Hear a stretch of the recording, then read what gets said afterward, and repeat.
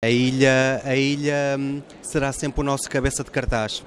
independentemente dos artistas que possamos levar a, a, para o arquipélago, a ilha é sempre o centro uh, e a experiência é feita nesse sentido.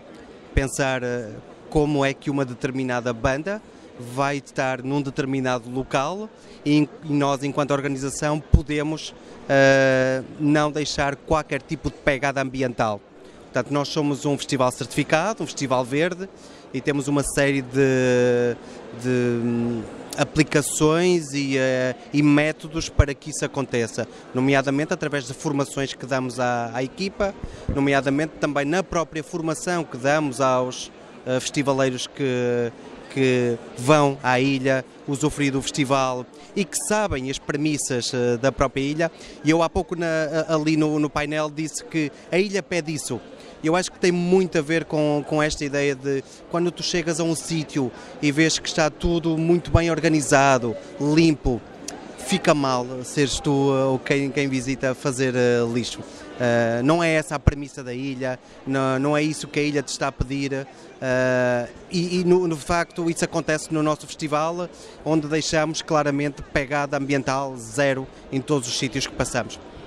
O nosso festival é um festival de missões.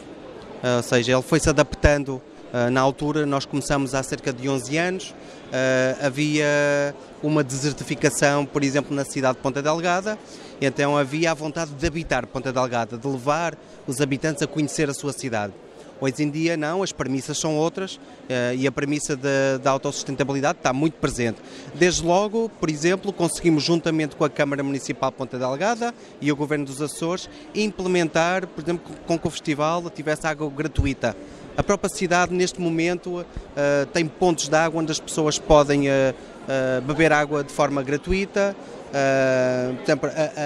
esta ideia também de, e pelo, e pelo facto do festival ser um festival de vénios e de, de vários espaços, a ideia de, do copo também reciclado foi muito importante e, e notou-se uma grande diferença da, da pegada quase zero que deixou na cidade.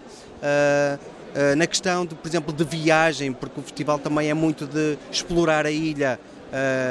temos um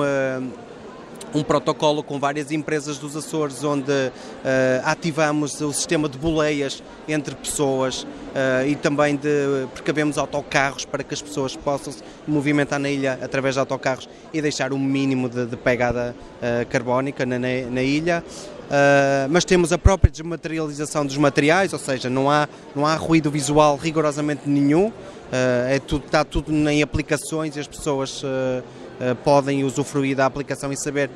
o que é que está a acontecer, aonde está a acontecer e como está a acontecer e todas as regras que esses espaços uh, devem ter e devem ser uh, cumpridas.